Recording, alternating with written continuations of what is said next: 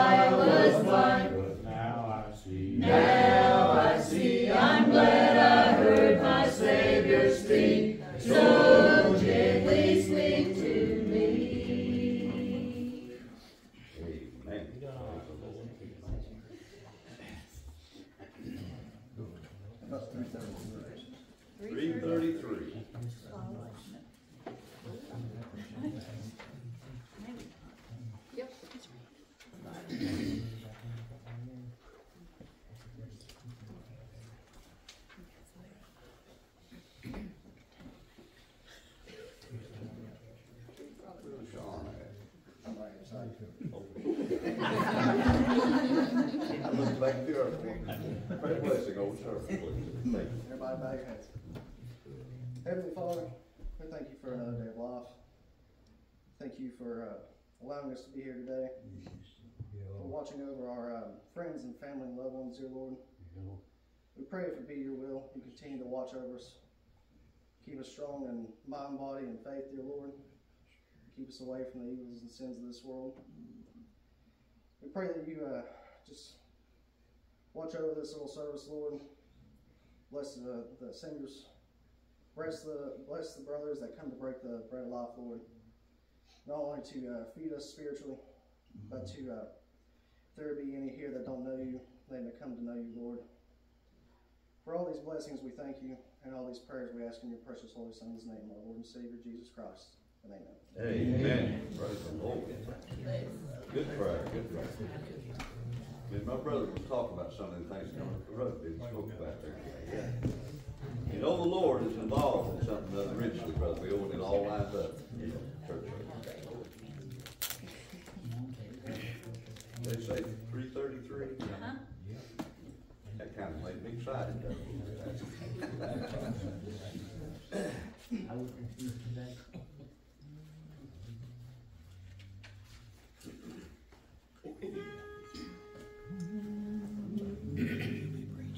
Somewhere.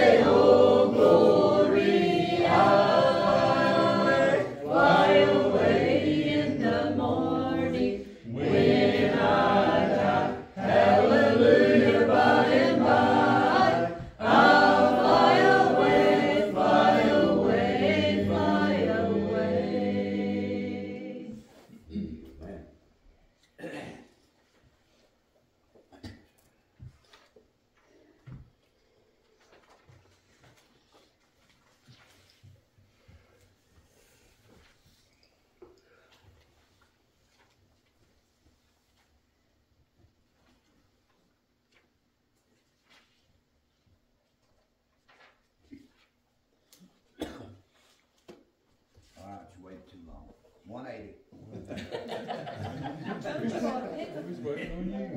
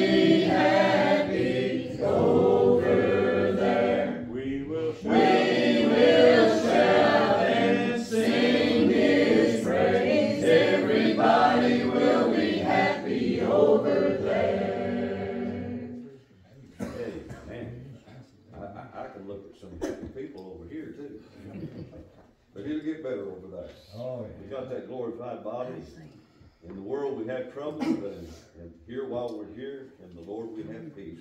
You're talking about that peace goes beyond our understanding. We get it over our brother Bill. Peace, joy, happens. happiness forevermore. No more sorrows, no more troubles. All be gone away with. Definitely want to go there, don't you? You'd be better there than here. Absolutely, far better. We'll sing one more. We've got the, the group with us. 62. 62. 62.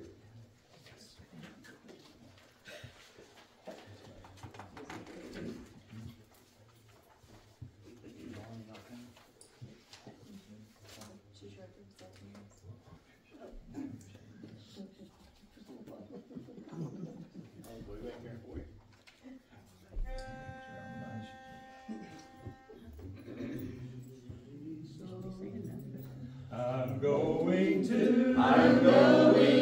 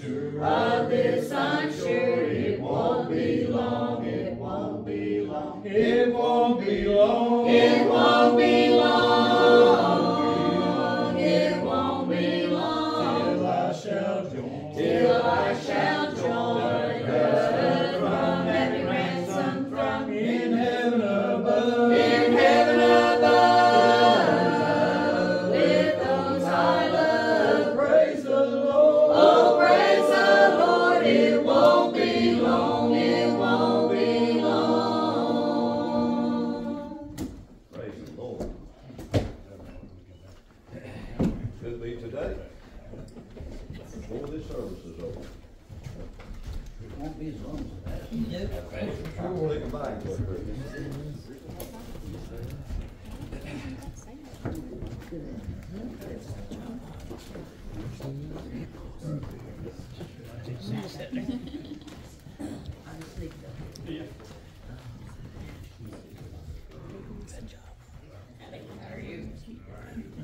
Did you say yes? Thankful heart. We haven't practiced in a long time. We have an agent. Just on you guys. If it feels up to you, I, I don't care to, I just don't feel under pressure because she's been sick here lately and she's doing better, so, you know, we'll keep it that way. This way. We'll, we'll get practice stuff, we'll come back. That ain't fair. Bless her real good, Lord. First.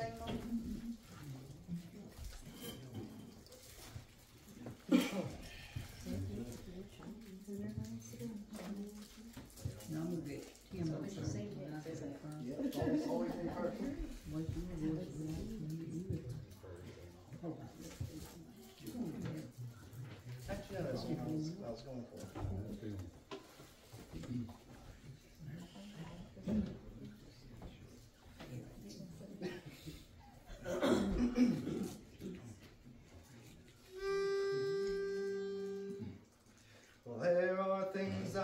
can't believe.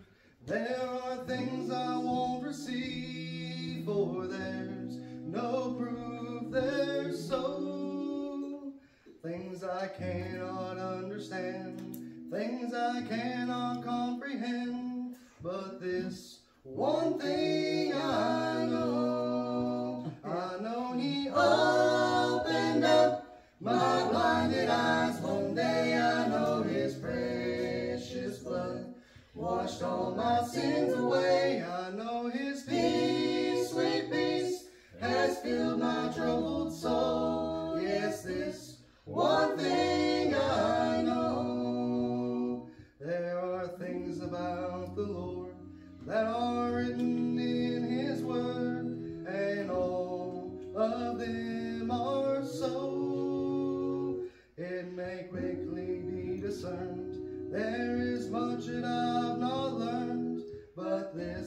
one thing I know. I know He opened up my blinded eyes one day. I know His precious blood washed all my sins away. I know His peace, sweet peace, has filled my troubled soul. Yes, this one thing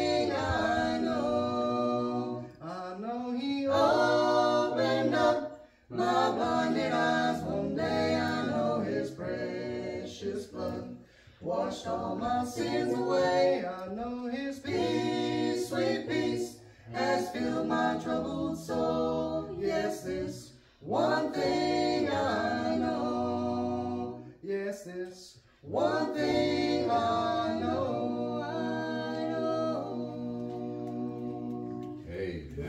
Praise the Lord.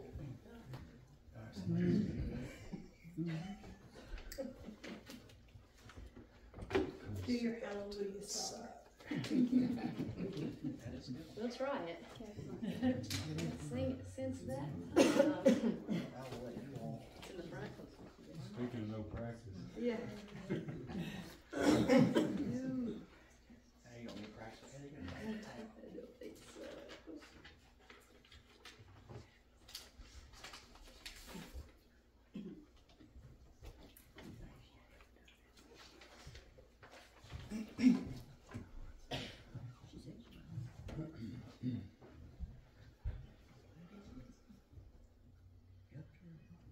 crown of thorns placed on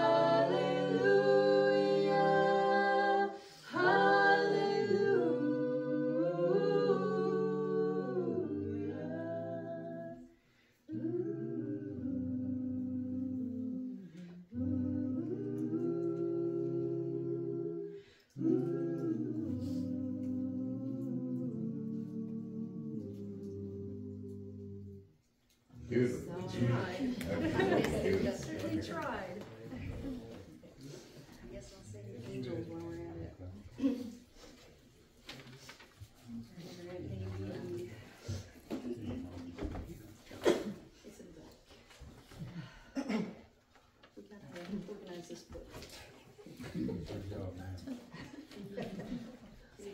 Let's pass that job on to somebody else.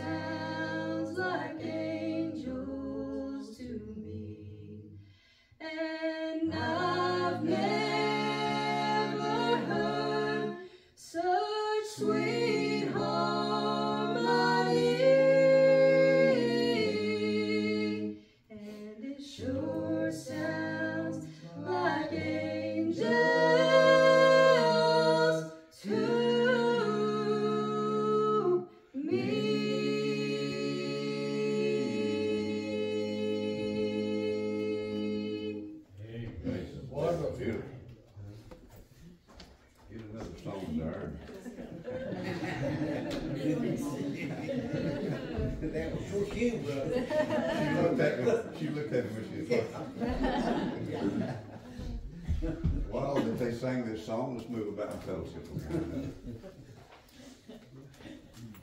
I've told them before, Brother Chris, they can sing all they want to. It just makes the preacher go on.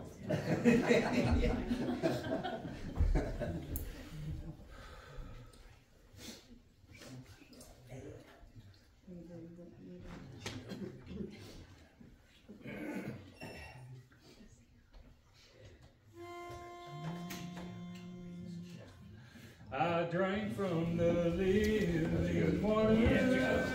His spirit now in me dwells. With one drink the Savior gave me victory over death and hell. I was from the vessel. Now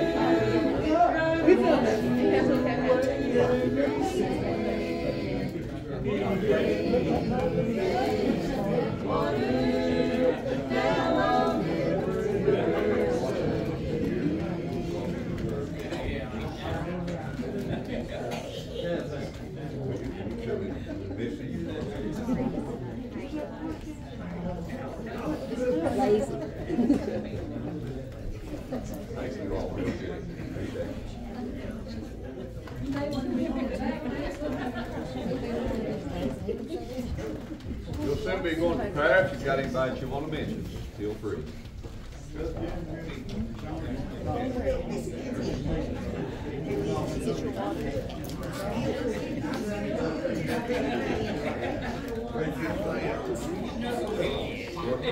fixing to go to prayer. If you got anybody you want to mention, feel free. Anybody else? God do bless. Church neighbors, especially the lost. God do bless. Remember our girls. Yes, God bless you. Remember popping out, if you don't care, Brother Charlie, about being here, and also the loss in our family. Yes, Sick, yes. shut in. In our- Jim's not feeling good this evening, and, uh, but Thomas was telling me earlier there, so remember him when you pray, and of course, we always miss him, especially when he calls me Uncle Charlie, so. Anybody else before we go to prayer? for me and my house, and, uh, I want to thank the church for praying for my daughter. She had a baby and everything, everything's going real good. Good. She's a doll baby too. I went over just to see her the other day, of course I've been mowing. and Shelby said, you wanna hold her? And I said, I want to. I said, I feel, I want to. But I'm telling you, she's a doll baby. It's special and we'll, I mean, you just, every time you see a newborn baby, it's just an amazing miracle of God. Thank you. Anybody else before we go to pray? Remember lives lost, children, grandchildren. Don't y'all remember Karen, your sister, she's been down in her back, having a hard Bless time. her heart. I didn't know that. Be blessed. Anybody else? Brother Charlie, I'd like for y'all to remember my husband Fred, he goes Tuesday for injections in his back, for back problems he's had. Pray that they work and God he'll bless get him, yes. That back business is, is bad stuff. I've been there, still have a little problem, but thank the Lord that he blesses me to be able to move about. Anybody else? Remember me and mine. Glad- Glad you're here, sis. All Charlotte, will- Remember our family, remember Linda, and remember all our lost in our family. God to bless us. All that would like to have a part in this prayer, that lift your hand, God bless each and every home represented. Anybody else before we go to prayer? remember my mom in your prayer and uh, remember the everybody in the hospital and uh, nursing homes. Most of all, remember the lost that's out in the in the roads and stuff. They don't have a place and nowhere to live, and they're just living on the road. I've probably seen four of them, and they ask me questions about God, and I try to give it, give them the answer. All they did was just walk away, like they're curious, but they're not curious. Yeah. Well, they need the Lord in their life, but I'm We telling all- you, He's coming back. We all need the Lord, for sure. And keep me in your prayers too. My blood pressure's been going sky high. God to bless you, yes. And thank you all for your prayers for my sister Teresa. Her blood pressure got up so bad here a while back, it was stroke. I mean, it was stroke possible, you know, that's bad. But she's doing a lot better, and we thank you for your prayers. And Continue to remember our little family. Anybody else? If there's nobody else, Brother Bruce, would you lead us in this prayer, please?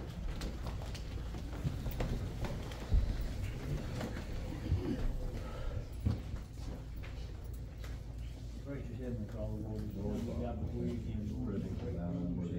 Lord, thank you for another day of life that you give me, yes, Lord, another time. That I hear not hear the gospel. Thank you Lord, for your precious Son, know understand we know what it is, Father, to talk to us, in their heart, that you keep right up with what they look for. I want to ask for blessing, every hand here with us. you for the and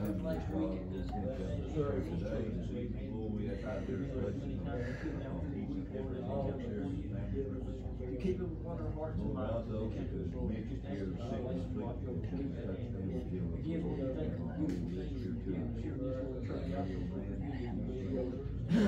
and their families. You you, Lord, for like Lord over God, this the still on the We know more them mentioned this evening. we, we know, the as we we pray the sound of your voice, we know that you sheep your sheep Heavenly Father, we know the sound of your gospel. For those that be interested in more, they will follow that sound. Be it him or somebody else, it doesn't really matter. Father, you send, they do it. And As long as and know they're saved by you, and because we know, and agree. God, preachers, they'll never be saved. Lord, that you're the It's same not a God covenant. yesterday, today, and forevermore. Through that word. Again, precious God, we ask your blessings upon all of Desires to that down God, there will we heal just pray that you would bless this little congregation. Maybe a struggle or all, Lord, we should thank you, Lord. Ones here, Across here, as much as we have. that you would bless and whoever speaks this evening, Lord, and get the Thank you, preacher out precious God, for all that our you would visitors speak who through them, come to be with us every week, dear. Lord. Church can be edified, they, up. Always leave here, Those Lord, on the outside Lord, can be with us, saved. that draw longer and longer. God, we just thank you. Ask that sweet and again, precious God, we don't want to forget the lost, still on the outside, That, that, that's the main thing that we really sit here for, Lord, to give you some praise and glory in our life. Lord, it's to try to lead them lost to, to their salvation, they realize, Lord, what they're missing out in this little world, Lord, here. And that they'll come to know, precious God, that they only have this one go around, and they will not have another chance here, they can tell what they want on this TV net, but they need to realize that what they do here upon this, what time you've given, and we don't know what time you've allotted us, precious God, it may be before this service is over, that one of us will not be. It's happened before in our time, lifetime before, that is, that happened. But that's the main thing they wanna remember, that, don't care what they've got for, they've got their stake out, it's where you pinpointed that stake at as far as they're going. And between now, you've given them ample opportunity, preaching God, and choose what they're gonna do, so. We just that you bless them and watch over if it not be today, Lord, in another day, that, that you just extend their life and mercy upon them, put upon their hearts and minds, Heavenly Father, what they need to do. Again, we love you, we thank you for all you've given, blessed us with, the precious Lord, and we ask it all. In Christ Jesus' name we'll pray. Amen. Amen. Thank you, brother, for the wonderful prayer. Thank the Lord.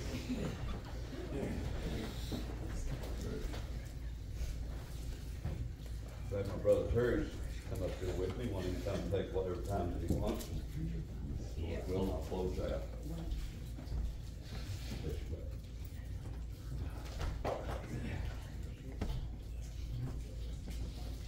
I would like to say, those of you that's still on the outside of the church, at the moment that that little still small voice starts speaking to you down inside your very being, your life, you don't have to wait till the end of the service. It's an order. When that spirit is moving, Brother Bill, that's an order. That's an order of God. That's when they need to move.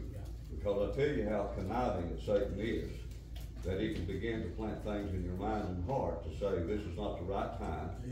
Uh, let's wait till my preacher's here or whatever. I'm telling you, your preacher is here. Because he that dwells inside of us, Brother Andy, is greater than he is in the world and is talking about Jesus. So if we get preacher out of the way, let the Lord just bring to our mind and heart what he's taught us as we study, then his will will be done. That's the way that I really look at it when I study. God do bless. Yes. Good place to be tonight. I was thinking, uh, while I was reading at the house before I came and about these little scriptures here. You know, the Bible tells us that there is a way unto man that seemeth right, the end thereof is death. Now, what that's speaking of, man, this flesh here, what we're made of, there is a way to us that seems right. But in God's eyes, his ways are so far above us. He is so, such a holy, righteous God that, uh, it's, it- it- it's, uh, contrary. It's contrary to his ways. Yeah. And, uh, another scripture says, lean not on your own understanding. But the understanding that we need to lean on and need to understand is the very word of God. Now, I'm speaking of Jesus Christ, the Word of God, and the written Word of God. They are one, they're the same. Everything in this Bible is about the coming of Christ, or Him being here, or His return, and everything that He's done in between. And we got to reading a little bit there in, in uh, Mark chapter 10. It's about this little rich man, and how that uh, Christ in his travels with the disciples, the rich man come up on him, and he said he run to him. And it sounded like a, man that runs to someone. It sounded like somebody really seeking, you know, they, they're wanting something. And when he came to Christ, he said, what must I do to inherit everlasting life? And Christ began to immediately know who he was from, from his heart. He examined everything about him, knowed everything about all of us all of our, our deeds and everything that we've ever done, he knows. And he began to tell him, you know, uh, to keep these commandments. And he mentioned some of the commandments, thou shalt not kill, thou shalt not commit adultery. He even mentioned to honor thy father and thy mother there at the end. And the little fellow looked at him and said, all these I've kept from my youth up. He was a Jew. He was, he was born and raised in this, in this understanding that I'm speaking to you about. And Christ had looked upon him with love. Now, somebody that loves you, friends, is going to tell you the truth. Mm-hmm. Yeah. If it brings the hair in the house, they're going to tell you the truth if they love you. Yes. Be careful of those that tells you things that tickles the ear and, and satisfies the flesh. They're not your friend. Those type of people that tell you just whatever you they think you want to hear, they're doing you a dishonor. But someone that loves you is going to tell you the truth. And it said, Christ looked upon him with love. And he said, Yet lackest thou one thing. One thing. And he told him, he said, Go, sell all that you have, give it to the poor, and come follow me. And it said the little man, the little rich man walked away sorrowfully because he had much riches. And that was the very one thing that Christ was speaking about. That he had put all of his trust in his riches. If this happens, I have this to fall back on. You see. And by his understanding, he did he was he erred and, and was erred very badly. Because Christ told him what that one thing was. And he told him out of love. Now the little man went away sorrowfully. And here's what I want to get to. From the beginning, I told you, you know, there is a way unto man that seemeth right, the end thereof is death. The disciples saw what happened, and they immediately began to wonder and murmur about themselves, if, if he can't make it, who can? You see, the world sees things a whole lot different than the master. They looked upon that little rich man, that little Jew boy, as if God had put him in that place and blessed him to have all that and, and really lifted him up. And in their minds, they thought this little rich man was above all because God had blessed him above all. But that doesn't mean so. We know that in life, a man that maybe your neighbor has plenty, he's got new vehicle, new home, it's all paid for. He might be retired and got plenty in the bank. But when you get to considering all things, it may come out later that he was a, a drug dealer. Who knows? That's my point. Just because things look a certain way, we have a tendency to judge that way. And so did the disciples. Because he was a Jew boy and he was a rich Jew boy, they automatically thought that he was doing well with God. If he can't make it, who can? Christ had to take time to stop and teach these boys, these disciples. And he began to explain to them that it was easier for a rich man to enter into the kingdom, or uh, for a camel to enter through an eye of a needle than a rich man to enter into the kingdom of heaven. And uh, they began to still not fully understand about it, and he went in further detail there with them to explain uh, with all things God, it's possible with God. All things are possible with God, nevertheless. And this is one of the one of the scriptures that stuck to my mind there that related back to that scripture that I that I just quoted to you when I first stood up here. That men have a funny way. That our understanding and our nature is not God's way. And it's not God's nature. If you want to know your Savior, if you want to know God closer, you can because of this word right here. You just get in it and study it. And little by little, God's nature starts to become reality to you. You become uh, acquainted with Him through His Word. You understand His ways, and they are far above ours. Now, I'm not telling you you're going to know it all because there ain't no man that knows it all except for one, Christ Jesus. But I, I'm saying you can draw closer to Him. And by drawing closer to Him, He will draw nigher unto you. But I will tell you, with knowledge comes comes uh, uh, and much understanding comes uh, uh responsibility. Because it means that once you come to the knowledge of right and wrong, even into the in-depth parts of this scriptures here, that you've got to walk that. Because if you don't, you know in your heart you've done wrong. So the closer we draw unto God, the more opportunity we have to serve Him. That's true. But it becomes a tighter and tighter line. So when we're walking, that's why it's called the straight street. Because if you veer off to the left or to the right of what God is teaching us, you falter. But Apostle Paul said that we have an advocate with the Father if we do that. And that's what's so wonderful about this word that we that we read and study. Mm-hmm. That even in our fleshly faults, so we still have this flesh to, to deal with, this nature. Even in those fleshly faults, we still have that advocate that we can go at any time, day or night, and get on these old prayer bones of ours say, Me again, Lord. And I'll tell you, it's I, I don't think, you know, my daddy used to say it's not a, a shame for a man to be a sinner, but it's a shame for a man to remain that way. And it's the same way for Christians. If you're walking and you're seeking God with everything in you and you falter, it's not a shame so much to falter as it would be to just leave it that way. You understand what I'm saying? We have an advocate. We have Jesus Christ that we can call upon, and he is just to forgive. And that's scripture, friends. That's not no guessing about it. He said that I'll be with you always. He said, I'll never leave you and I'll never forsake you. And so as a Christian man, we joy in this, Yeah. knowing, knowing that even though this flesh right here from time to time gets out of whack and causes us to stumble, and that old devil, he's right there just gathering, oh, you messed up bad now, you know, now what? You know, and he wants you to think and understand that that that's his job, that he wants you to think that you're that you're a helpless uh, case. But we know that it's far from that because the inner man is perfect. God made it that way. When you gave your life to him and you received Christ in you, you become part of Christ. You become uh, a, a joint heir to the kingdom. Amen. What you have to deal with, what I have to deal with today, is this flesh right here. We're to keep it under subjection, Jay. Keep it under foot. Because if you start feeding that old flesh, it's going to grow stronger than the inner man. And when it becomes stronger than the inner man, then he's overthrown you. So our whole duty is to fear God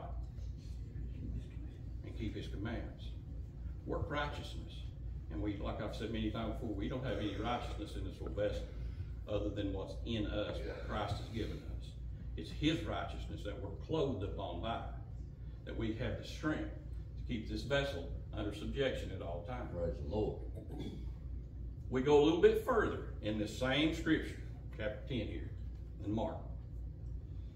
And James and John comes to him. Now, Christ is heading back to Jerusalem, and they warned him, you know, Master, they're, they're seeking to take our lives up there.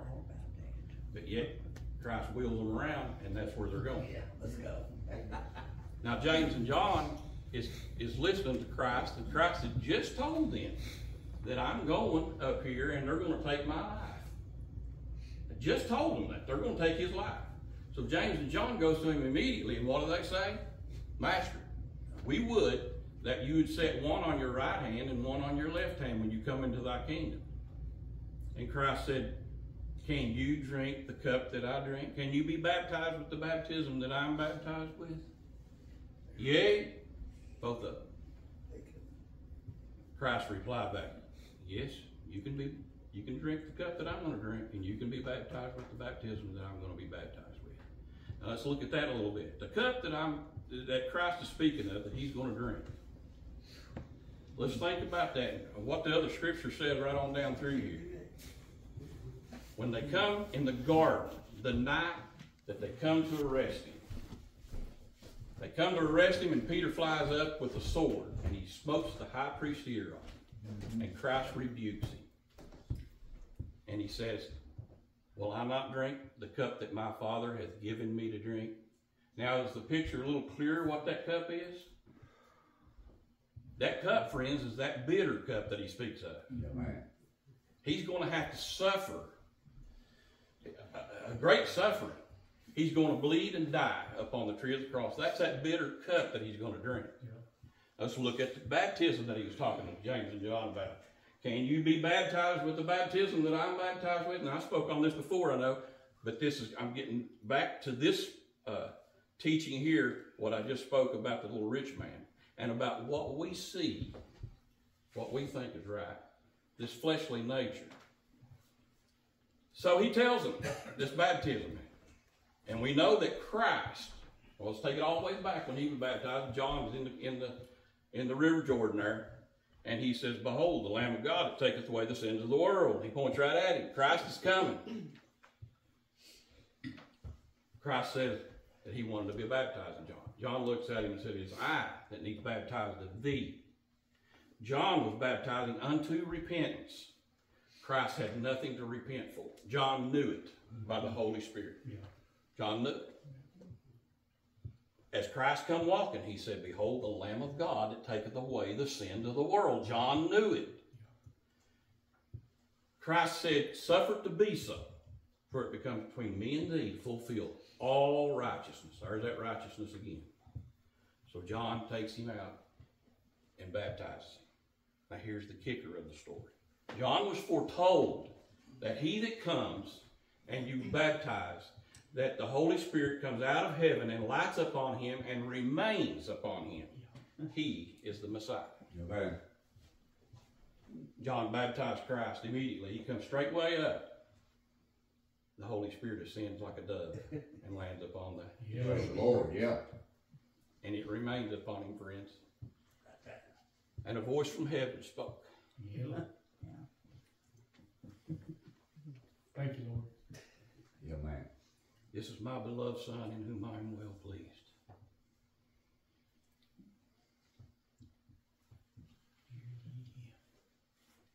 That's the baptism that Christ was baptized with. Now, what did he mean when he said, Ye shall be baptized with the baptism that I'm baptized with? On the day of Pentecost.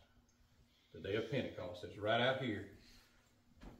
Shortly after Christ left on the mount and was received in the clouds, they go down. And on the day of Pentecost, the scripture says plainly that the Holy Ghost came in like a mighty rushing wind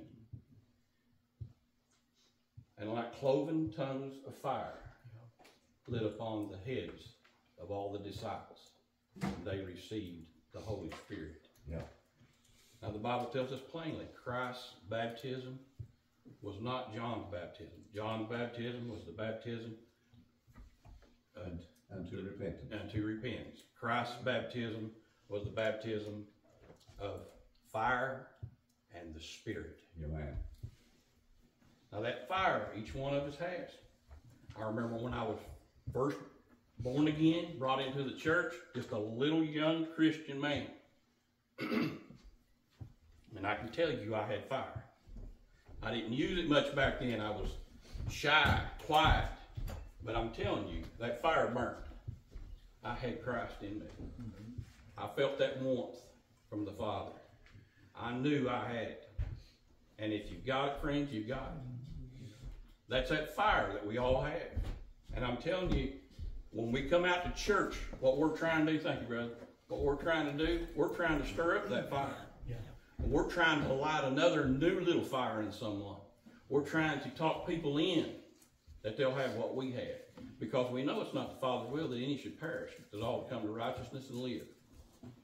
God set it up this way a long time ago. And this is His plan for us.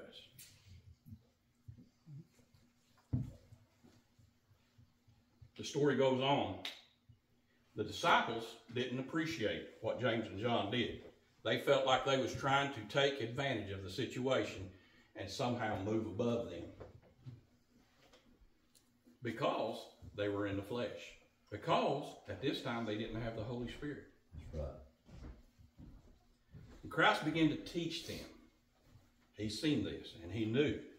He began to teach them. In the world, he said, in the world, you have men over other men, and they have men over them.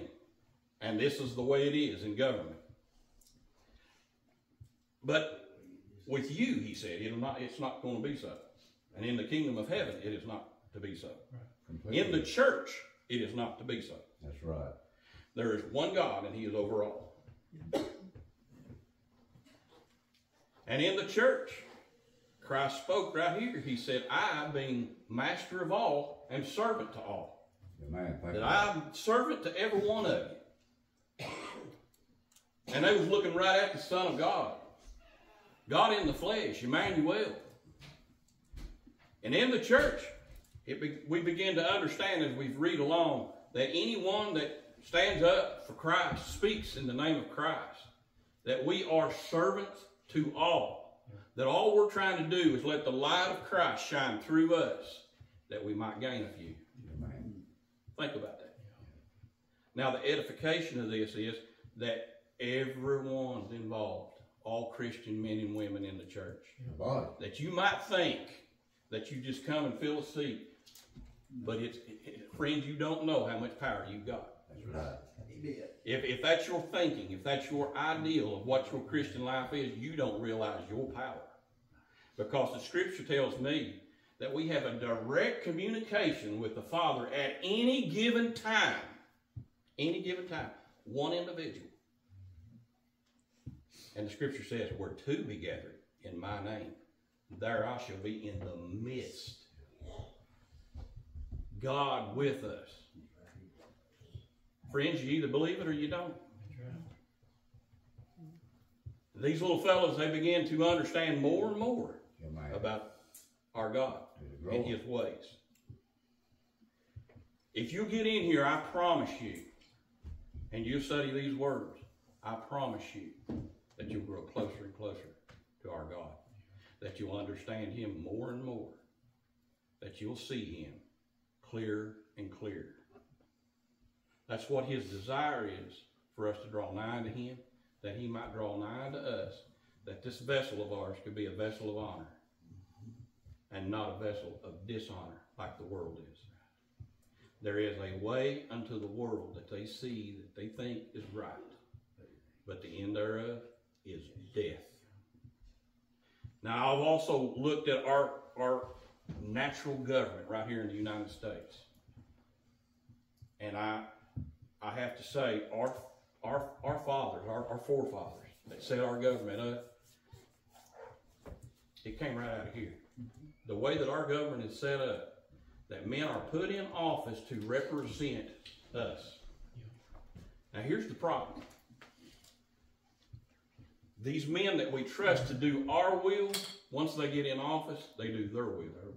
And that's corruption. That's sure is. And that's where our government fails.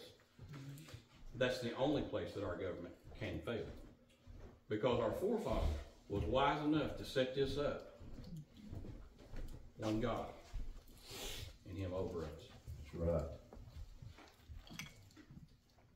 That's right. The They saw this.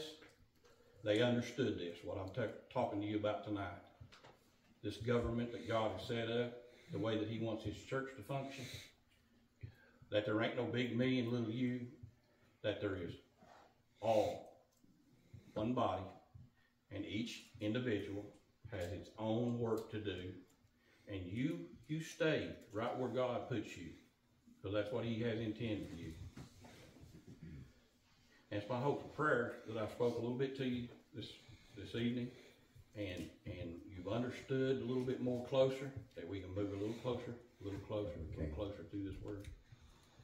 But I get to thinking about so many scriptures in here that's, that that identifies the way that God intends us to be, just by a little scriptures like this. And you know, uh, He speaks to our heart as individuals, but yet we know that we're I'm no different than Junior. Junior's no different than me. No different than James. James no different than me. That we're all parts of this this body. that what He'll do for one, He'll do for all, and that's what makes it such a great plan. That's what makes uh, uh, that's what gives me encouragement when I get in here and read. That I know I'm not no big scholar, but yet God reveals things unto me that I need, and He'll reveal things to you that you need, and He will grow you according to way His plan is for you. And it's up to us to take hold of that, to understand that, and to take joy in that. That that little fire could remain in us. Because if it goes out, friends, it'll be a sorry day on the day of judgment. You keep that that oil burning. You keep that wick trimmed. You keep reading and studying, and you stay in that straight path. And I'll promise you that these promises that, that He gave us will remain true and faithful.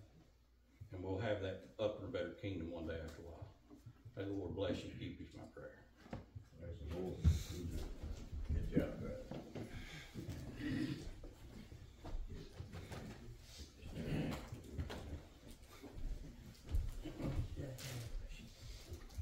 We thank the Lord for His messages that comes right down in our mind and heart.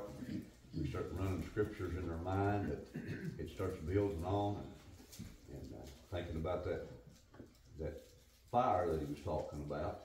And uh, like John Baptist there at the beginning, he said, I do indeed baptize you with water unto repentance, but he that is greater than I am. Yeah. I'm not worthy to bow down and loose the latches of his shoes. He shall baptize you with the Holy Ghost and with fire. He foretold them he was being directed of God to tell them Yeah. the Messiah's coming. And uh, one time the Messiah was talking to the apostles and to us, and, and he said, Every uh, one shall be salted with fire. And that means everybody. What is that fire? It is the Word of God. And there ain't nary person when they reach the age of accountability, Brother Bill, that's going to leave out of here that ain't somewhere along the line heard about Jesus. God means what he says. Said, everyone shall be salted with fire, and every sacrifice shall be salted with salt. Now, what is the sacrifice? That's when we heard that fire that come down inside of us, that little still voice, that sparked that little flame of fire down inside of us, that we took heed and obeyed the word of God. And he salted us with salt. What is that salt? That's the Holy Ghost. He poured the Holy Ghost right Yeah. down in it. That's what John was foretelling there at the beginning, that that never was before. That that power in that word, that Holy Spirit, you know, that would come down. And, and like I said down at uh, Echo today, in the beginning was the Word, and the Word was with God, and the Word was God, and the Word was made flesh and dwelled among us. And them old boy said that we beheld His glory as the only begotten Son of God, full of grace and truth. They beheld, they was witnesses unto the Lord. Yeah. And I thought about when he was talking about one, and I, I think Sean sung, sung a song that had one in it. And that's been on my mind here lately, one. And I remember reading here a while back over in the book of Zacharias that it said that his name is one. Whose name? Talking about Jesus. He was foretelling about this one that was going to come. And then, we- then we see when the when the Lord was here and he prayed there on that mount in the 17th chapter of John, the Lord's Prayer, that's the Lord's Prayer there.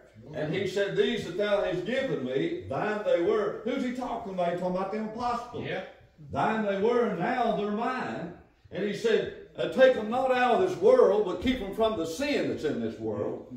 And Holy Father, make them one with us, even as I am one with you. And not only them do I pray for, but those that will hear thee. The very words that some of the bro- that the brother was speaking about, it come from God directing those apostles, brother Tommy, to write it down, pin it down for us, and that same spirit and word that comes right down in our life when we give our life to the Lord, and God added us to the church, and then at a time come along that He caused us to have a want to, to be able to stand up and proclaim His holy name, that He chooses those vessels that speaks on His behalf. And He lets us know that we are a servant, that we are nothing, we're less than nothing, that we are dust. The scripture goes on and on, Brother Thomas, and that puts us right where we need to be, that we'll get creature out of the way, even as the Lord, the great teacher, taught, that everything that he done, he would remind them of oh, apostles and us, because we still read them same words, that I come not to do my will, I come not to speak my words, but every word that my Father giveth me, I speak it. Amen. Every work my Father gives me to work, I work it. What's he saying? I'm getting this creature out of the way right in your presence. And God that has sent me is speaking through me and the words of salvation and the power of the Holy Ghost uh, that's going to come upon you one day after a while. Think about how glorious that is. It all ties together perfectly and peaceful. And the Lord, when He come and the great works that He done, proving truly that He was the Messiah that the old prophets had talked about, that was going to come, the Christ. Uh, And when He come, that He would uh, remind them and teach them all things uh, that needed to be taught to them. And He would remind them of the sins that they done, that He would know all things and tell them about it. I spoke about it here a while back when he was talking about the woman there at the well. Talking right to her. Told her exactly what was going on in her life. As far as the nature was concerned, they were strangers. As far as she was concerned. But the Lord knowed everything about her. And friend, those of you that's on the outside, He knows everything about you. There's nothing that you can I keep hid from the Lord. But the Lord, He already knows about it and what He wants you to do with it. Lay it at the feet of Jesus. Yeah, right We had to come to that conclusion ourselves, Brother Bruce, to everything that we'd ever done. We didn't have to confess it to people. Mm-hmm. No. That spirit that come down in our lives when we was a seeking the Lord. Mm-hmm. But we become fearful and knowing that God meant what He said. And God had already said that those devils and those demons was in chains of darkness reserved unto the judgment. And all nations that forgets God shall be turned away into it. That brought fear to me. I know that I was a sinner, and you do too, lost man and lost woman. And that you're a sinner and undone and without the Savior. And that you'll not be able to go home with Him when He comes back after His church. Think about that. that that's enough to scare a fellow. When you get right down where you live, knowing that eternity is forever. And there's two places that's going to hold all mankind. And one place is called home, heaven's country. And the other place is called that place of confinement and torment, which is called hell. And it's eternal. Think about that. So that's why we gather together like this that the church can be edified, reminded of these things, strengthened That's by right. the Word of God and the Spirit. God fixed it that way a long time ago. And we come together that our lost people can come out to church where we are and hear words whereby they can be saved, as the brother said. Yeah. yeah. That's the way it works. God fixed it that way a long time ago. In the second chapter, or the second Thessalonian first chapter, seventh verse, Paul is speaking to the church at that time. Thessalon. Ye who are troubled, come rest with us. That's pretty plain, ain't it? Is he speaking to the church, come rest with? No, he's when he said us, that's the church. And he's talking to those that's not in the church. Ye who are troubled, come rest with us. So he's preaching to lost people, ain't he? There's false doctrine that's going around in the world that that gospel is not meant to lost people. It's meant to God's people. It's in the church. It sure is. It's meant to God's people too, yeah. Well, let's get it right. That's why these things comes to our mind. We want to make sure that people understand the goodness of God. For God so loved the world that he gave his only begotten Son, that whosoever would believe in him should not perish, but have everlasting life. Not his will that anybody perish. Well, what else did he say? I've concluded all under sin.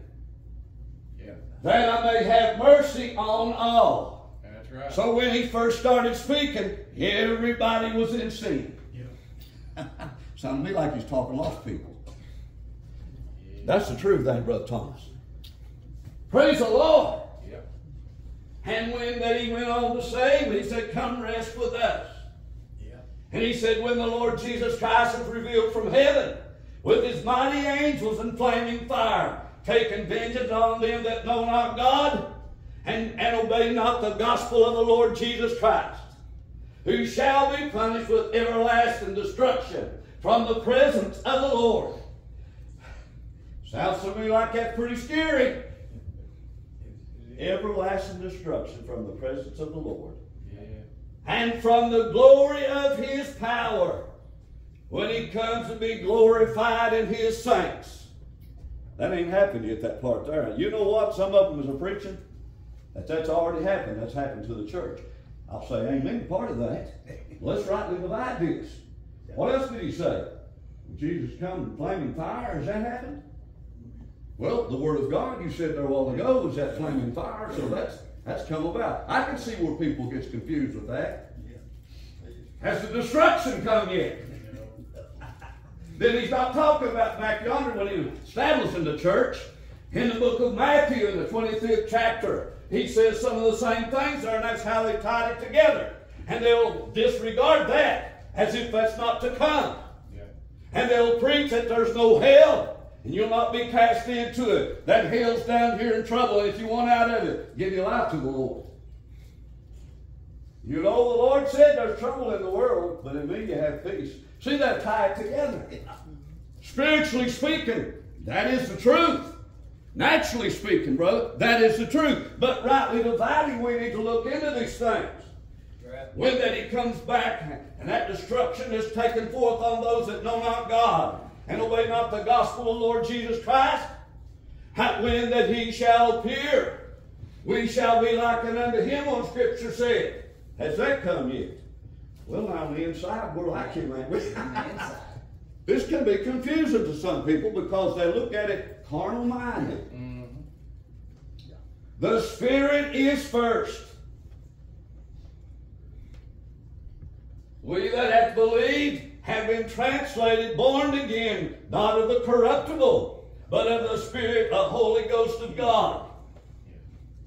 Not of ourselves, lest any man should boast. It is a gift of God. For it is by grace through faith that we are saved. Not of ourselves. It's a gift of God, lest any man should boast. So that is right now, ain't it? Yeah. Now, if you don't get ready, when the Lord comes back in that flaming fire with his angels, no time to get ready then. Too late. He stepped down from the mercy seat. Let's look at this way he's talking about. And when he comes to be glorified in his saints and to be admired, all them that believe him. I'm looking at some that believes. Mm-hmm. And he'll be admired. He's right now being admired, ain't he? See, that's what they say. This has already took place. They're looking at it in a different way. Yes, part of it is. It's spiritual. But I'm telling you that destruction has not come yet. How do you know? Because this world is not on fire. Right, look right. We're still walking around on it. And we haven't met him in the air. Mm-hmm. Another scripture. 528, book of John. The hour is coming. What did he say before that? Marvel not. Don't be surprised about this. I'm foretelling you that this is going to come about. The hour is coming in the which that all that's in the grave shall hear his voice and shall come forth. Those that have done good unto everlasting life, those that have done evil unto everlasting damnation. Contempt and shame, one scripture said. Damnation. What is that damnation? That- that- that's an old King James word in there, and I like it because it just gets right down to the point. That's the judgment of everlasting punishment. You know what I done here a while back? I looked at a, I got a Greek Bible and I heard some of them preaching. That ain't talking about damnation. That, that's talking about judgment. I mean, when you're in judgment, you're going to be received or you're not going to be received. But they cut off part of it in this new translation from the Greek. Now, our Bible was translated from the Greek, from Aramaic, from Hebrew, and from Latin. They, the, right out of that same Greek literature, they got that word damnation. And it's exactly right, Brother Bill. The more I look into it, the more I see the old King James Version is right on the money. God fixed her at the right time before the world got so wicked that they wanted to do away with the truth. Yeah, yeah. Fixed it right at the right time. God was in the control of this. Yeah, he was. The more I dig into it, the more that I see that I'm glad that I have come into a church that has the old King James Version of the Bible. It is the truth. That word is krima. This wasn't on my mind a while ago, boy, it is now. That, that's, that's the word in Greek, krima. I looked it up, kept studying it. I got my brother Larry looked it up after I looked it up in my Bible dictionary. On the internet, it didn't describe it what was in my Bible dictionary. You reckon the devil is changing things on the internet till you won't find the truth? Pardon me. Guarantee it. You said it just right, brother. My old Bible dictionary, rightly dividing, prima, says judgment. Well, that's what you said, Charlie. They changed it over to, yeah, but they, they cut it off short.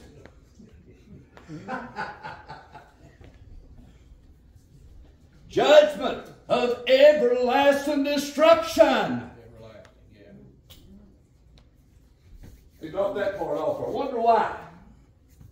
The devil don't want you to think that there's an everlasting destruction to come. He knows as well as we, he knows better than I know that there's an everlasting destruction to come. And he's going to be cast into it. Forever. We don't want the world to know that. Go on doing what you're going to do. The Lord loves you. He ain't going to cast you into hell. He's just going to make a judgment and say, oh, you dirty, rotten, rotten fellow, you. You're not done that. Well, come on. You can come home with me. That's not gospel. I want people to know, Brother Tommy, the truth. Because the truth of God will set our people free if they'll believe it. Amen.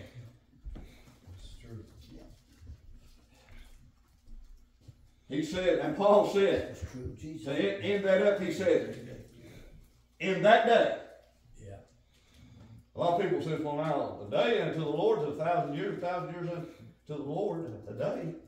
They'll say that that's going to be a, you know, he's going to have everybody come before him and stand in a big long line, you know, next and judge them, and, and it'll take a thousand years. You know what I mean? You hear all kinds of stuff. I'm telling you, the gospel tells me, Brother Tommy, right now the judgment of God is set. Mm-hmm. What are you going to do with the little scripture that the Lord was speaking about there in the book of John? When he's talking about those that is made ready.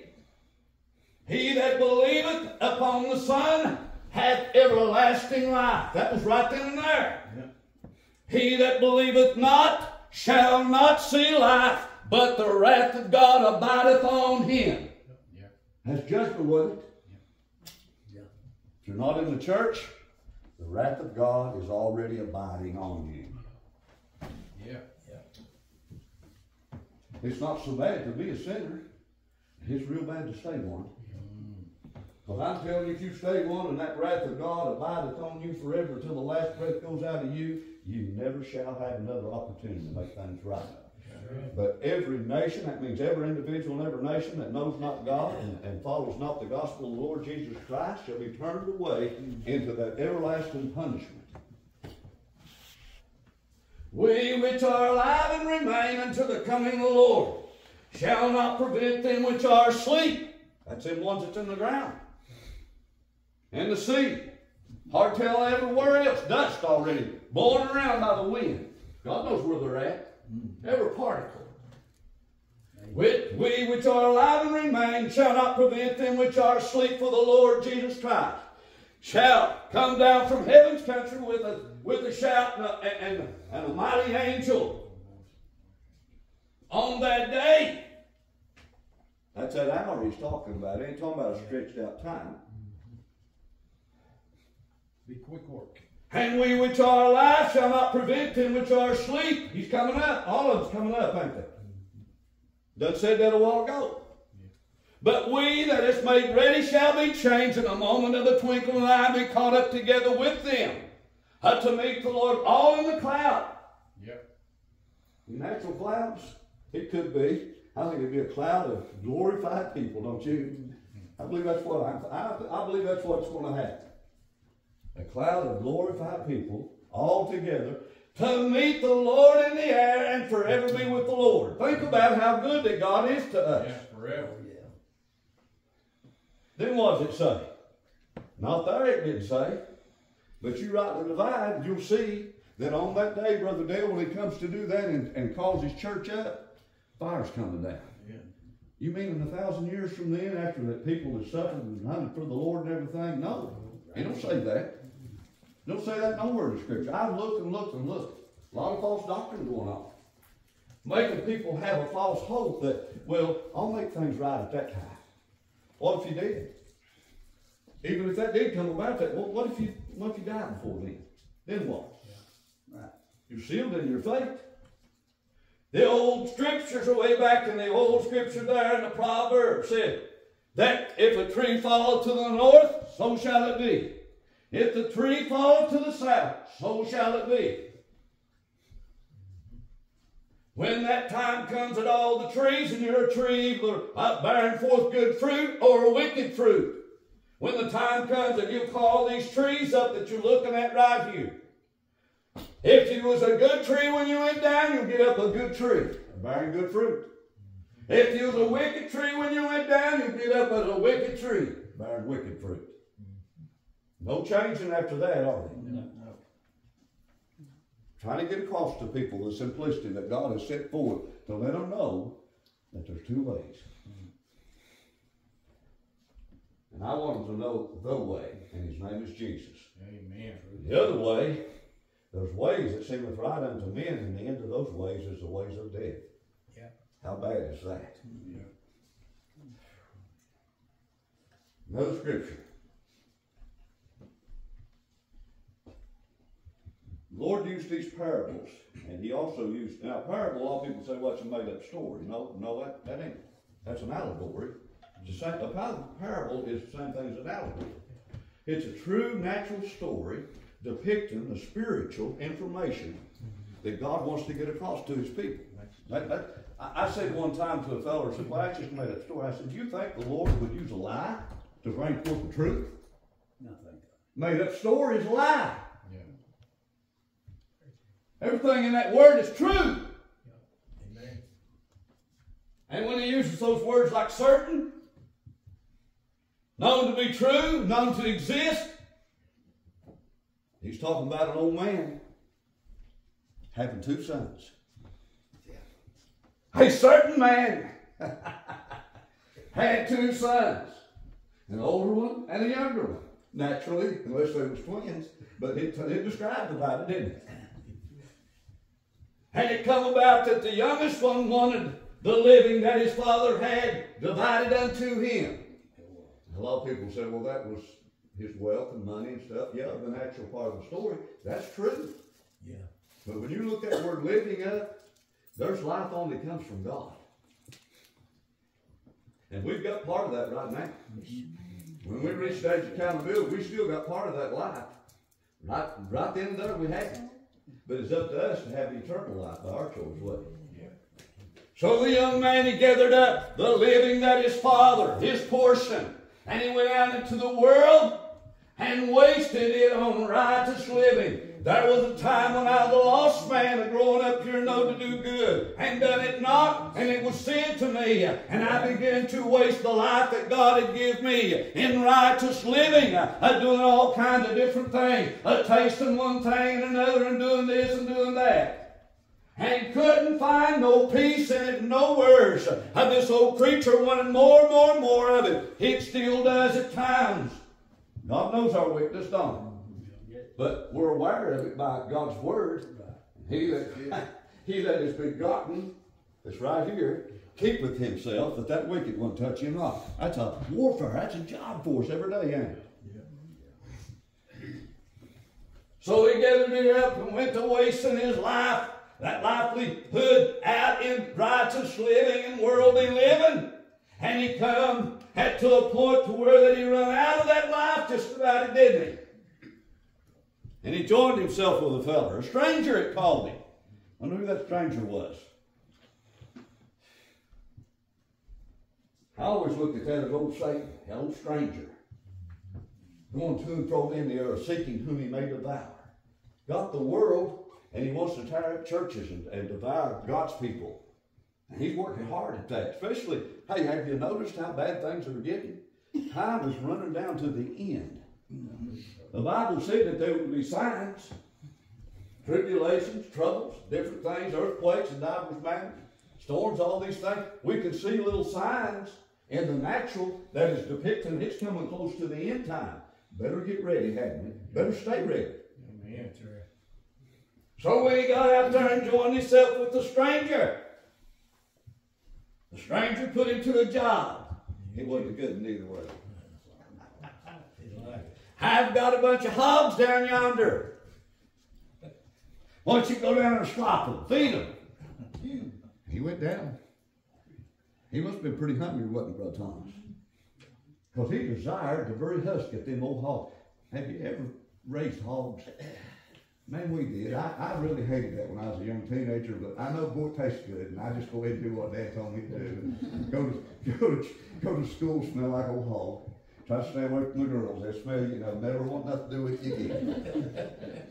That's where he was at. The world sin. Desire, and he was in bad shape. He was desiring that very slop that hogs was eating. God knows how to depict a story that's true. That's happened, my friends. Oh, yeah. That's a true story. That's a little bit happened to me in my life. That's not made up. I didn't like it. Desired the very husk that the hogs did eat, and no man gave unto him. I remember the old brother preached, well, at least he wasn't a thief. That was okay, that's good, that's one thing out of the way. But that ain't what that means. Listen, I can't give nobody that's in this house sin. And I can't give nobody in this house the righteousness of God. Can't do it. We can't, none of us can do that. No. You can offer it. It's up to you to reach out and get a hold of it. Amen. Yeah. No man got it to it. Pure sin in that hog trough there. And he desired it. And he realized this is not for me. This flesh is desiring the wrong thing. It's nasty. Hog slop. That's what's out in the world. That's why the Lord said, Come ye out from amongst the world and be ye separate. For I am God, and besides me no other Savior. He said, I know what I'll do. Sounded to me like he was coming to good sense there in his mind. Uh-huh. You study about it. I, that's talking about all Christian men and women. That's right. That's right. We was all right there in the hog trough at one time. Ain't no use to beating around the bush about it. Right. We got to sin, wouldn't we? Yes. Needed the Savior, didn't we? Absolutely. I know what I'll do. You're still there. I remember when I was in favor with my father. Y'all remember when you was growing up, before you reached that age of accountability, you was in favor with God? We didn't know at the time we was in favor, but we just felt free, didn't we? We felt good. Didn't feel like nothing was going to bother us or anything. I mean, I remember that, but I remember when I started to dabble in sin and know, man, it made me feel rotten. Y'all remember that? I'm about 13 years old, barely. oh, man. Praise the Lord. Listen, that old boy, he realized where he was at. That's what we want our lost people here this evening to realize where you're at. You don't have to stay there. You can come out of it. Yeah. Thank the Lord. Today is the day of salvation. Harden not your heart. Now is the accepted time the Lord's calling unto you. If you want to drink of the water of life freely, uh, come and get it. Uh, It's through faith that you please God, and God will receive you. And no other way. I can't get you in. If I could give this to you, Brother Tim Napper said my arms ain't big enough. Said if I could do it, I'd go back and get every one and just bring you into the church. He said, don't work that way. I remember that when I was a little fellow, this no Tim Napper. He was like a papa to us. A lot of respect towards that old man. He's smart. Yeah, he was. That old boy at the hog trough, Dale, he said, I know what I'll do. He waited out, didn't he? Yep. Are you waiting it out, lost man, lost woman, this evening? In your mind? That's what God wants you to do. Wait it out. I did. All of us did. Yeah. We was all there. He said, I know what I'll do. I'll go back to my father's house because he has bread and bread to spare. Yeah. What Jesus say? Your fathers did eat manna in the wilderness and they are dead. You fellas thought that that was the bread of life. Well, it ain't. I'm here to tell you, Jesus said that I am, I, I am that I am. I am the bread of life that come down from God out of heaven, where a man could eat thereof and never die. Yeah. Yeah. That's it. Except you eat of my flesh and drink of my blood, you'll have no eternal life abiding in you. right. That's it. Oh my goodness, them old fellows I can see them rubbing their heads saying, How in the world, Brother Thomas, can we eat of his flesh and drink of his blood? This thing carnal minded, wouldn't it?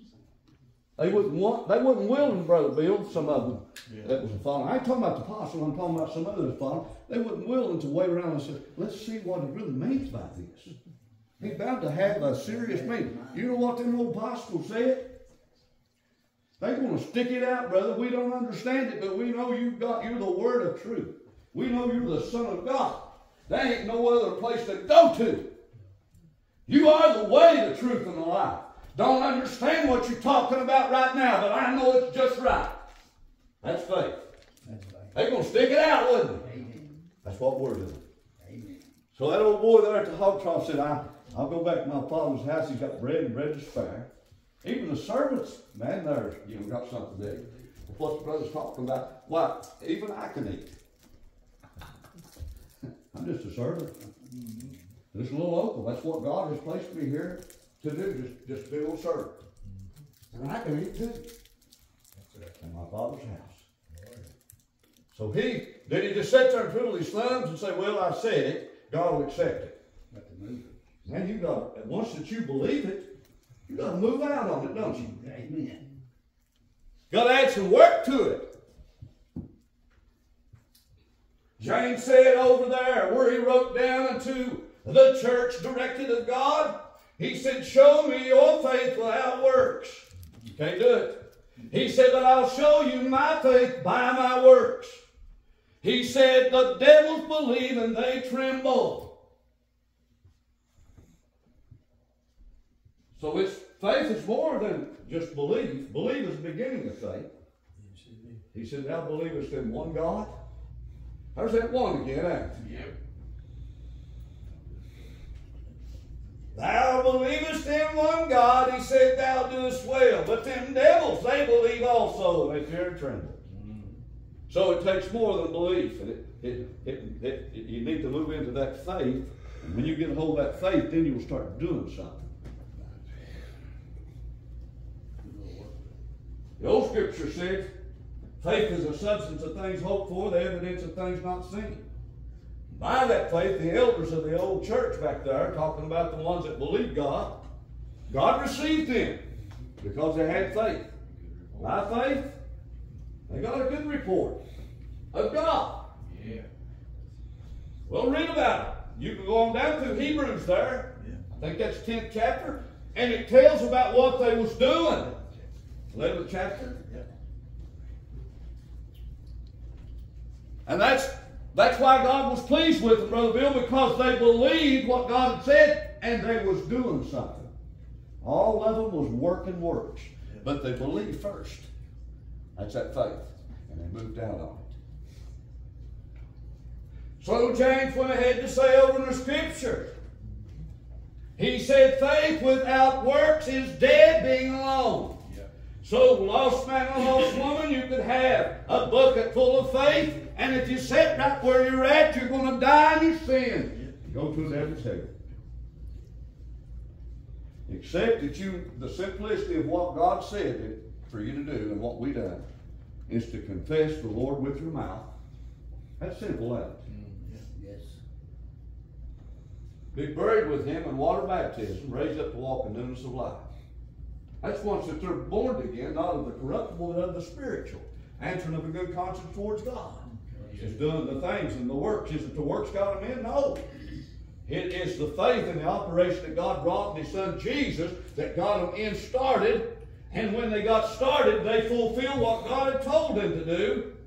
And it was concluded unto them as righteousness even as it was Father Abraham, because God, listen, he heard God, he believed God, and he done what God said, and it was imputed unto him as righteousness. That's how that we become righteous because the Holy Father, Holy Son, and Holy Ghost took up their abode in us, born again, not of the corruptible of Bill, but the Spirit, and then we are considered in the eyes of God righteous. Yes. You can have that same thing this evening if you believe with all your heart, so strength and might. Amen. So when did he decided to get up and do something, get back to the prodigal son, he got out of the hog trough and around all that work, and he started putting one foot in front of the other, as Brother Chris said. A journey of a thousand miles starts with one step. And he wasn't heading away from Father, but he was heading towards Father. Did Father know that he was coming? Oh, yeah, oh, he did. Do you know the Father knows everything about every lost man and woman's heart right now? That He knows the very moment that you're going to start moving toward Him? Yes, sir. And He knows the very moment that the last opportunity that you're going to have to do that. And it's your choice whether that you're going to move or not move. Yes, sir. Amen. And death may be round the curve down there for you. Yeah. What are you doing, Charlie? Trying to scare me? Absolutely. Because fear in God is the beginning of wisdom. And when you begin to fear, then you begin to seek the Savior to get out of that fear. Once you find that Savior and get out of that fear, you talk about a peaceful, happy little pilgrim on your journey. Mm-hmm. I remember when the Lord come down in my life, I felt lighter than a feather. That's the best words that I can use. Yeah, yeah. Yeah. That he took all everything away, all my sins and everything. Well, Charlie, you've done said that he bore all of it already on the cross. Why'd you have it? Because I hadn't believed yet. It's still compiled upon me. I still in, I still in prison of that sin. I'm still right there, all wrapped up, and he's got the keys. Mm-hmm. And he was wanting to loose me all the time, and it was me hanging on to it because of unbelief. He'd done already bought and paid for all my sin. Yes. But it's up to me to believe, to receive. That's it. And the very moment that I believed with all my heart that He's the Savior, the Son of God, that He died for me, and I was willing to follow Him, that load was lifted. When that load was lifted, nobody didn't tell, nobody, Brother Terry, didn't have to ask me, you know the Lord? I knew the Lord. Yeah. You will too. If you turn your life over to Him, you'll know Him too. So he's heading back home. Father, you know, now he wasn't watching the clock. Heading back home. Yeah. And on his way there, he's a thinking in his mind what I'm going to say to Father. Lost man, lost woman, are you thinking in your mind what you need to say to him in your mind, not to me, to the Father right now? Are you praying for yourself? Are you putting a lot of ifs in there? If you'll do this, I'll do that. That ain't gonna work. He's not money. It's not make a deal, Dave. He's done already done everything that he wanted to do for all of us, that we could have salvation. And he's waiting for you to completely just humble yourself before him and say, here I am. I can't do nothing for myself. I'm worse than nothing. If you don't save me, I'm gonna die with him. I'm telling you, when you come with that kind of thought in mind, Brother Bill, right down your heart, and no wise will he turn you away. Say, if you come to me with a broken, contrite spirit and faith believing, repenting, as Brother Roger Manor mentioned today, he said, in no wise will I turn you away, but I'll make you sons and daughters of the Most High God. Here he's going home. He's heading towards home. And here come Father running out to meet him. Before he ever got to the house, do you know that if you'll move out on this faith before you get up here, Father will already have met you. He'll put his loving arms around you and he'll kiss you on the neck. Now, you talking about natural kiss? No, I'm talking about you'll feel the good spirit of God. That's that kiss of love. And that's what the Father done to his son. That he come and hugged him up and kissed him on the neck. And did the son just leave it at that, or did he go ahead and do what he's supposed to do? He confessed, didn't he? to me? No. To the Father. Through Christ Jesus. You know that Jesus is the high priest. He's the only one, Brother Bill. Yeah. There will be another. He's the high priest. That's the one you go to. To reach the Father, you go to the high priest. He'll turn to the Father and say, Hey, that work that you sent me down here to do, man, it's got nothing out of hell. Yeah. How good is that? Yeah. So when the Father kissed his neck and hugged him up, he started confessing. He said, Father, I have sinned against heaven and in thy sight, and am no longer worthy to be called thy son. I just make me a servant. That's what I am, servant. You all are too. Yeah. Because I know that you've got everything that I need. Bread and bread to spare. Think about that. Don't never run out, Brother Thomas. That table stays full. It says sings that song. Ever stays full. Fountain running over. Never runs dry.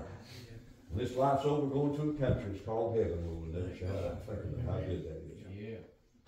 You know what the Father done for him? And he done the same thing for us, brother. He said, Go and get the best robe and put it on him. That's the robe of righteousness. And you know what best means in Hebrew? It means first. When God made us and we was born here, that we was in favor with God. And we had a robe of righteousness on us because if we'd have died as a child, we'd have got to go to heaven's country. But when we reached that age of accountability, know to do good and done it not, it was sin unto us. The robe of righteousness was off of us. Yeah. I ain't four or five robes of righteousness for every person. No. You're either robed in the righteousness of God or you're not. So he said, Go get the best robe, that first one, and put it on him. Go get the ring and put it on his hand. What is that ring? Some people preach is that eternal love. That's okay, that's good. If you study the old Hebrew, and that's who he was talking to, in the scriptures there, unto his own people. That, that ring had a signet in the Father. And anywhere that a child would go with that signet ring there, they could purchase things. Uh, they could eat wherever that, that, uh, that they had. That they had those clay pallets that they would pop that down on it, and, and that would be a sign of their daddy's name to it. And daddy will come pay for it. Look what good things God has got for us. Yeah. Daddy will pay for it. He's bought it all on the cross, ain't he? Yes. Anything else to be purchased? He said, When I come again to the little fellow that took the half man dead to that end there, said, said, anything more? Said, when I come again, I'll pay it. Is there something more that he's going to give us? Eternal life. Eternal life. Glorified body. Yes. He coming again. Oh, yeah. Those scriptures mean more than just, just a little true story that they are. There's spiritual things in there. Mm-hmm. Put that ring on his hand. Put the shoes on his feet. Shoes of what? Of righteousness. Shod with the preparation of the gospel. Yep. Walk in righteousness of the Father through his son Jesus. Think about that. Go kill the fatted calf. I don't know about you, that makes me angry when I, I read that. There's good eating here, ain't there? That table stays full, don't it? Yeah. The good spiritual things, Brother Tom, it comes down from God out of heaven. It stays full where man can eat thereof day or night. Read that word, eat that up, drain it right down where you live down the side of it, never get hungry. Always stay full of that. If, if we'll dig after it, gotta come to the table though, don't we? Yes. Gotta get in there. And the father began to say, This was my son, who was lost, and now he is found. This is my son, who was dead. Sounds to me like he's talking more than a little natural there. Yeah. Now he's alive. Lost man, lost woman, if you want life, it's here tonight. Have I got it? I told you a while ago, we can't give it to you. We can only present the truth, the life to you, the best that we can understand, Brother Bill. It's up to them to get a hold of it. Yeah. And there's synagogues of Satan in the world that's presenting falsehoods out to the people. And they can't make them eat that, except they want it and reach out and get a hold of it. Because there's some that wants their ears tickled. Mm-hmm. They don't want the truth, as the brother was talking about there, because the truth is good for you. He'll cut flesh all to pieces. He'll put you right where you need to be, a humble man, ready for to receive a holy divine spirit. Set you free. Said all this aside, come ye out from amongst the world and be ye separate, for I am God, and besides me no other Savior. Think about that. Yeah. God loves us, don't he? Yes. Brought his son in there, and they was just rejoicing and having a good time. Look at that time. I don't know. There was a feller that was the older son there that come and heard them being married, eating, rejoicing and everything. Figured out what was going on. Well, look at here, he killed a fatted cat. He ain't never done that to me. Yeah. Yeah, he has. Yeah, he has. I think about that. I, I've heard that little sermon there preached five different ways. And there's a sixth way, and I ain't never touched on it. I ain't going to for a long time. I ain't never. it's, lot- and it's true. I mean, he'll cover the truth because it's rightly divided. And the Lord- God's word is thick and rich. Yes. Layered. But one of them is that that old covenant and the Jews that was in it. And this is, I mean, this is pretty plain. They was accepted unto God because God accepted them because they was doing what He said to do in that old covenant at that time. Absolutely, brothers, at that time. And here is a stranger. I mean, that's exactly what he was concluding, his brother, and it was his brother. Do you know not that the scripture said that the angels are fellow servants and fellow brother? That's what the scripture, the angels. All nations of all the world of God's hand creation, that we can accept him as our brother, not a stranger, when they give their life to the Lord. So the Lord's talking to the Hebrews at that time, and he's saying, this fellow, he's come in and he's got jealous. Do you know the old scripture, what it talked about? He said, I will make you jealous with a people that are not a people. They're going to come out of the world and come to me. It's grace covenant, brother. Think about it. Brand new way that he prophesied a long time ago through them old prophets. But them fellows was jealous, wasn't they? And he comes in and he said, you know, you ain't, you know, father was concerned. Well, Father was so, so concerned, Brother Tommy, that he sent his son down to his Jews first. He said, I come unto my own first. They received me not, but as many as did gave you them power to become the sons of God. He come to them 1st So here's this one that's come in. What, what this this fellow, he righteous living, he's a, he's he's a pure heathen. He's a wild man, and you're you're accepting him. You're accepting him right back with me. Have I not always been with you? Have I not always served you? You've never killed a fatty calf for me. Yeah, he did. He took care of them all those years, that old covenant. They just don't realize it. They're looking for the Messiah to come yet. They don't realize it. Look what he's hmm. done for them. He come unto his own first. Yeah, he did. He killed a fatty calf for him. Here's that fatty calf, brother.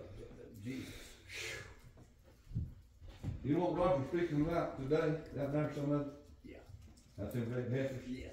I, I'd read about that probably months ago. That there was a, you know, and it's been going on for years. That's, that's breeding, you know, and raising them up. They're wanting to get all these things back in order. They think it's in order of the old covenant. And, and they want to build that temple back because they know that, that the Lord will not come until he has a temple to walk into. They're looking at carnal minded. Yeah. Well, he had a temple to come into. He had an old fellow that was a Gentile man uh, to see forth to build it. Cyrus, the king of Persia, that sent God's people over there and rebuild it so that it'd be ready for the Messiah, Jesus, to walk into it. And he did.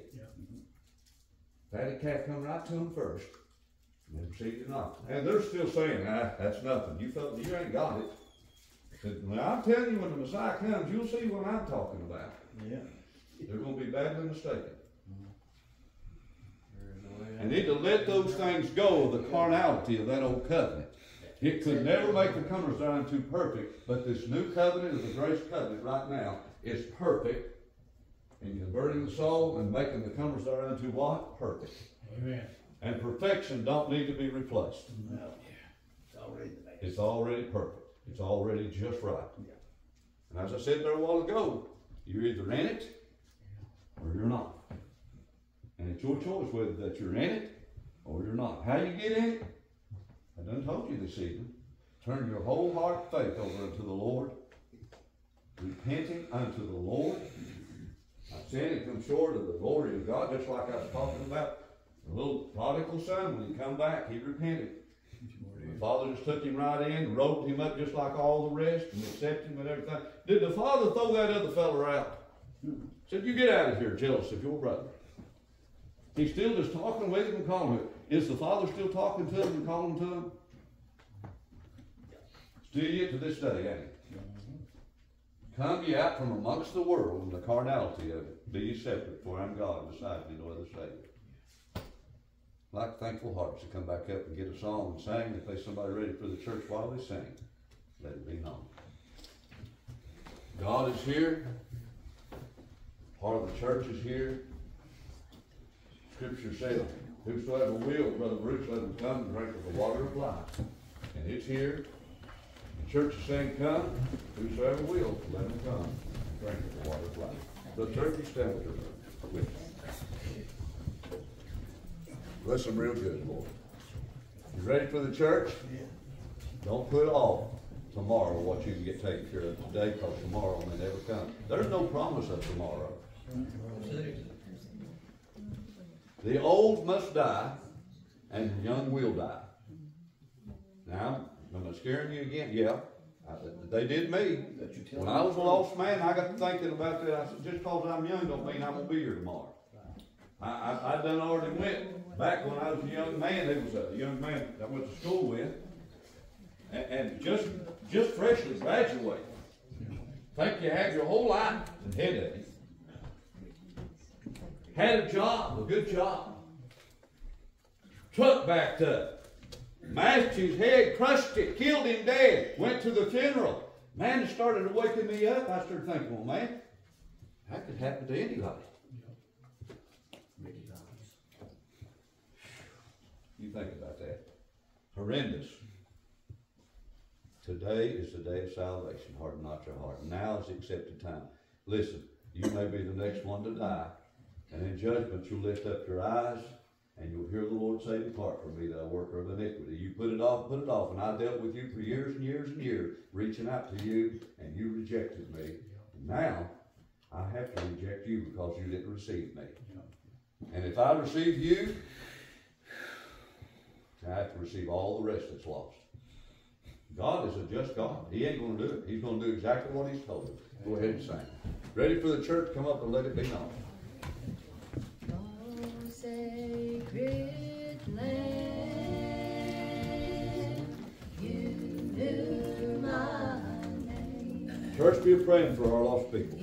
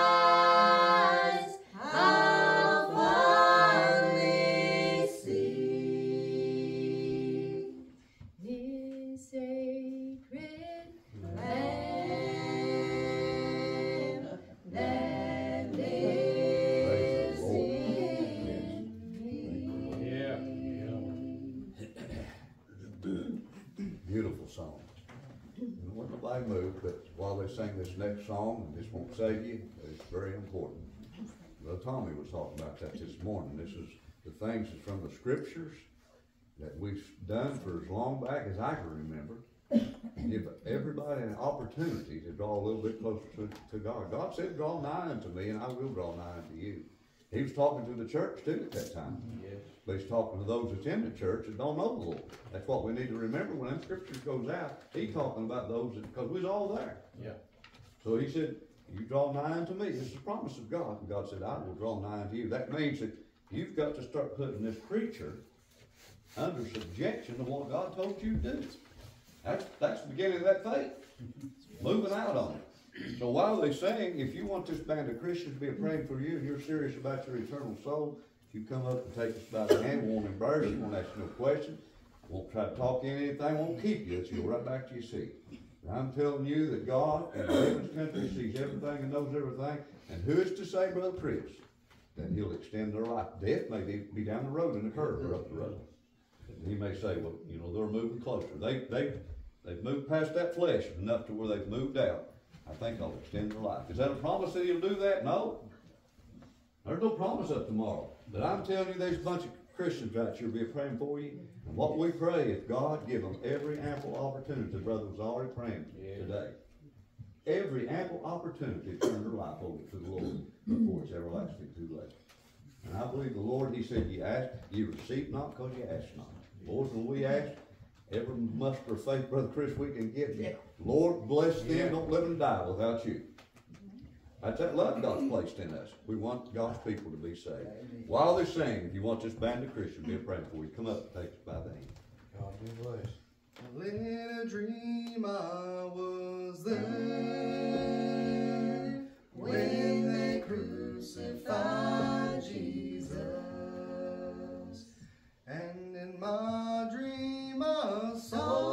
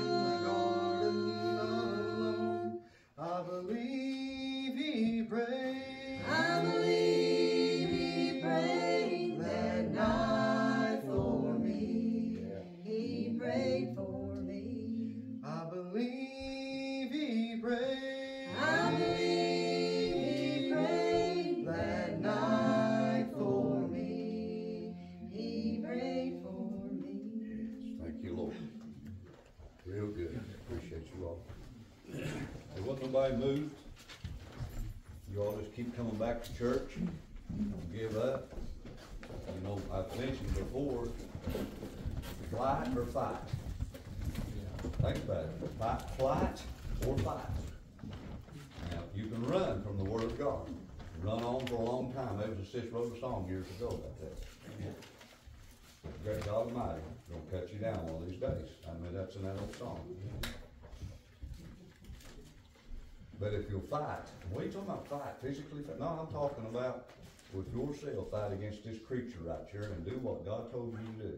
That's putting this creature under subjection unto the Holy Spirit, the Word of God that does agree. That's right. That's that fight. Man, it's a fight to die.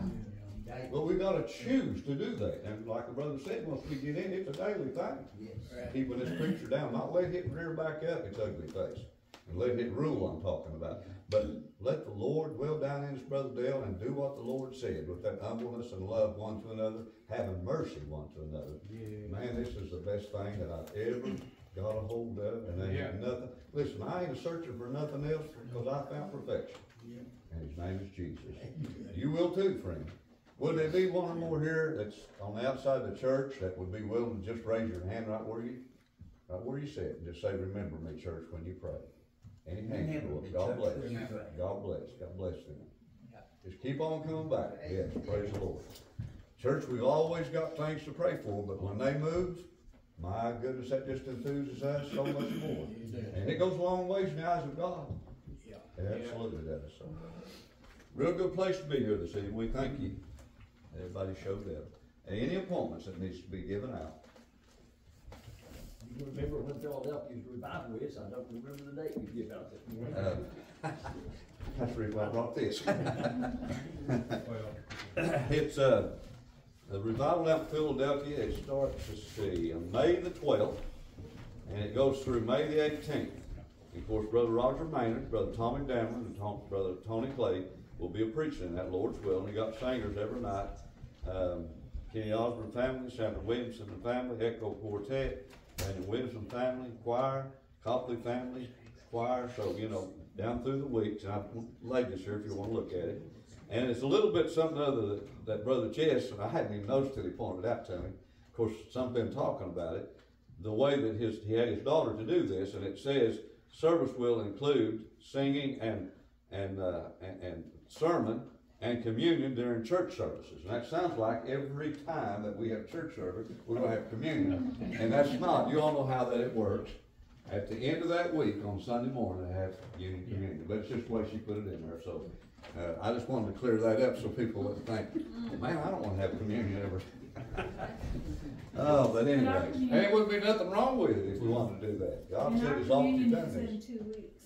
Do what? Our communion here is in two weeks. Thank you, sis, yeah, absolutely. Looking forward to that. A lot of good things is coming up. If the Lord allows time to roll around, we'd be glad to have you to come and visit our churches and, and hear the good gospel, whether it's from I or they, just so Jesus is preaching, so you believe. Jesus is the preacher.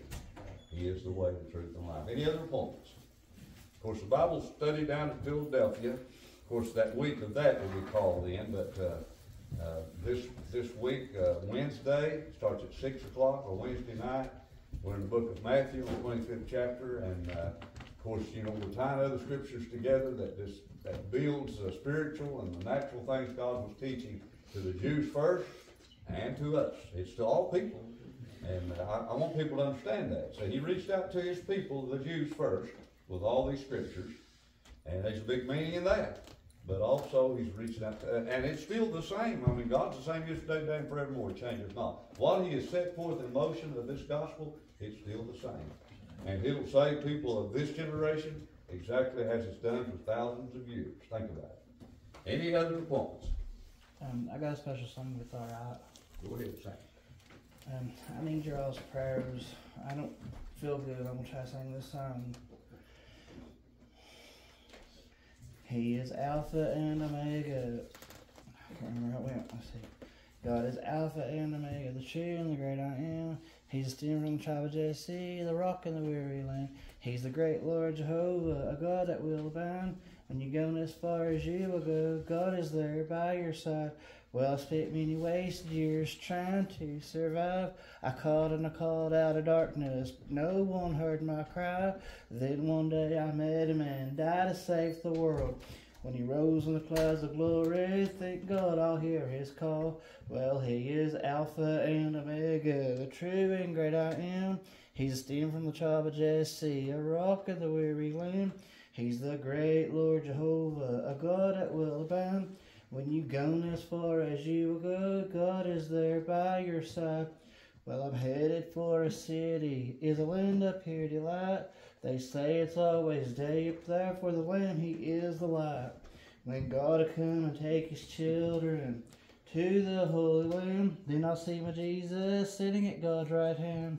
Well, he is Alpha and Omega, the true and great I am. He's a stem from the tribe of Jesse, a rock in the weary land. He's the great Lord Jehovah, a God that will abound.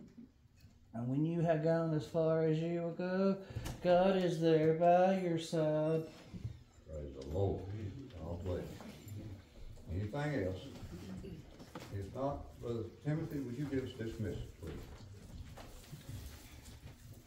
Dear Lord, we thank you for allowing us to gather all here again today and come and praise you and worship you. We ask that you continue to be with us, you continue to bless us and watch over us. We ask that you can go with us and help guide us in all of your ways. And continue to bless everyone here and those that raise their hands and those who are on the outside, keep guiding them.